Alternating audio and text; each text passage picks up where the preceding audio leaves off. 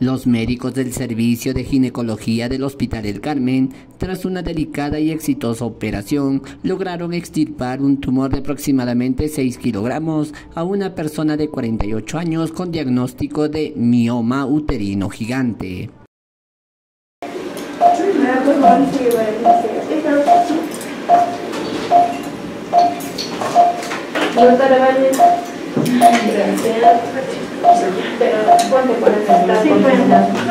La paciente llegó al hospital con dolor pélvico intenso, por ello se le tuvo que realizar una operación la cual es un tratamiento quirúrgico seguro y eficaz para la eliminación de miomas, adecuado para toda mujer con síntomas graves.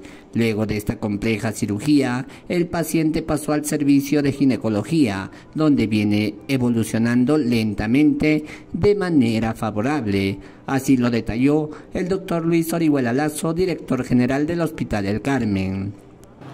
Sí, es una paciente de 49 años que tiene un tiempo de enfermedad muy largo, más allá de 5 años, causado con dolor abdominal, distensión abdominal. Eh, está hospitalizada en el servicio de ginecología más de 15 días, obviamente para estudios, lográndose determinar que es un mioma gigante. ¿no? Esto a través de una resonancia magnética que se realizó la semana pasada, ya teniendo todos los diagnósticos confirmatorios con todos los diagnósticos confirmatorios se determinó que debería ingresar a sala de operaciones. El día de hoy ha ingresado en horas de la mañana, han sido dos horas de cirugía en las cuales se extrajo totalmente el mioma y obviamente este mioma es grande, aproximadamente de 20 por 30 centímetros, que ocupa toda la cavidad abdominal. El peso aproximado es de 6 kilos. Eh, ya ha salido de sala de operaciones, se encuentra totalmente estable y esperemos pues que no se presenten otras complicaciones en su posoperatorio. La exitosa y compleja operación tuvo una duración aproximada de dos horas y se pudo lograr gracias a la pronta intervención y esfuerzo de un gran equipo multidisciplinario de ginecólogos, anestesiólogos, quienes estuvieron acompañados junto al personal de enfermería. El galeno remarcó que los miomas o fibromas uterino no es una enfermedad grave, pero sí una afección ginecológica frecuente que en muchos casos requieren intervención médica.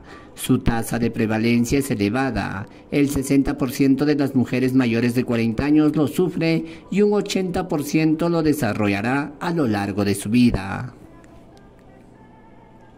Mira, los miomas son denominados leiomiomas, son tumores benignos que aparecen en, digamos, en el cuerpo uterino. ¿no?